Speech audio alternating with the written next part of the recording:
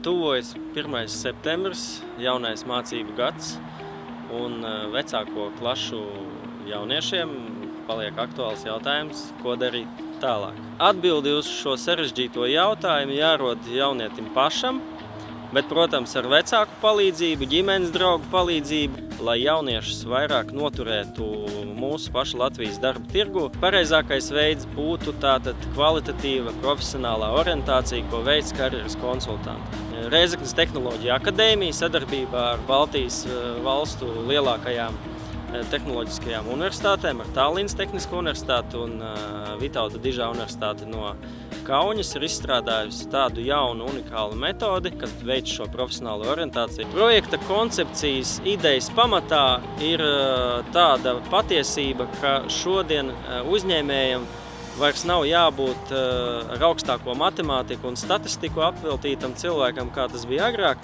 bet viņam kā, jāsastāv no trim daļām. Viņam jābūt gan dizaineram, kam jāsaprot, kas patīk un ko var pārdot patērētājiem, ko pieprasa patērētājs. Viņam jābūt nedaudz inženierim, viņam jāsaprot, kā to var uzražot, lai tas smuki izskatītos un turētos kopā. Un trešais, viņam jābūt ekonomistam, viņam arī jāsaprot, kā to saražot ir lētāk. Arī nākotnes darbiniekam šajos uzņēmumos arī jābūt starpdisciplināram, viņam jāprot ne tikai šauri darīt savus darbus, bet arī jāsaprot visi pārējie procesi, kas ir uzņēmumā. Šo te principu mēs izmantojām un mēģinam tātad ievirzīt karjeras konsultēšanā. Šobrīd augstskolā notiek pirmās apmācības. Mēs iesaistījām desmit karjeras konsultantus, kas praktizē šo lietu un iet pie skolniekiem vidusskolās un stāsta. Un mēs šos pirmos desmit konsultantus apmācīsim jaunajā metodē un lūksim viņus arī aprobēt to skolā. Мне очень интересно участвовать в данном Erasmus Plus проекте. Man ir ļoti interesanti piedalīties šajā Erasmus Plus projektā, jo tas risina divas aktuālas problēmas.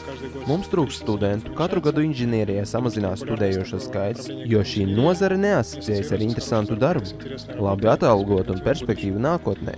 Un otrs, kas ir interesants šajā projektā, mēs noskaidrojam, ko uzņēmumi sagaida no jaunā darbinieka un kāds atšķiras no realitātes.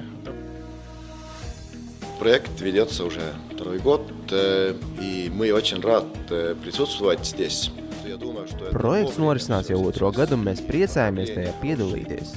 Domāju, ka šis Baltijas valstu kopprojekts radīts īstajā brīdī un pareizajā virzienā. Uzņemšana Rēzeknas tehnoloģija akadēmijā turpinās līdz 29. augustam.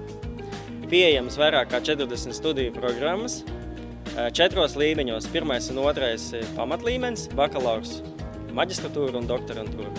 Pieejams arī budžeta vietas, un precīzāku informāciju skatieties rta.lv mājaslapā.